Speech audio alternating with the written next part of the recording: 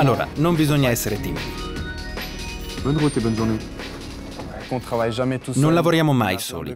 Abbiamo molti colleghi importanti per noi e sui quali contiamo. A cominciare dai macchinisti, sono loro infatti che seguono le istruzioni da noi impartite attraverso i segnali.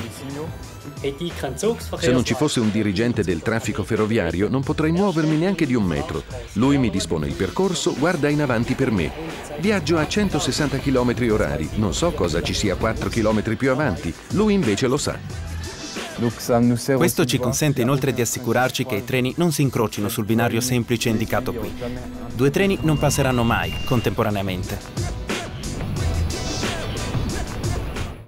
Se c'è un problema, e i problemi non mancano vista la quantità di treni che circolano ogni giorno, occorre limitarne l'effetto affinché i viaggiatori siano toccati il meno possibile e arrivino a destinazione rilassati e tranquilli e soddisfatti del loro viaggio.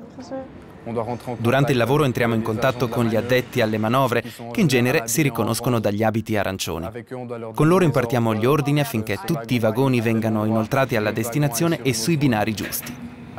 Allora, questo è il programma per gestire direttamente la circolazione dei treni.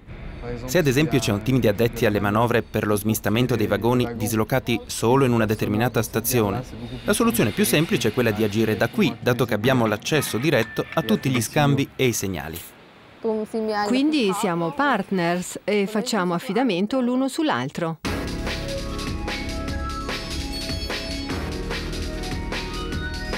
Viennent vos prochaines correspondances ICN à destination de Neuchâtel, Yverdon, Lausanne, voie 4. Ci sono tanti treni e tanti passeggeri. Un treno può trasportare fino a 1200 persone e la responsabilità è immensa, visto che in gioco c'è la sicurezza dei viaggiatori. Ma è come in tutte le professioni, bisogna sapere ciò che si sta facendo. E poi esistono appositi sistemi per verificare che non vengano commesse sciocchezze.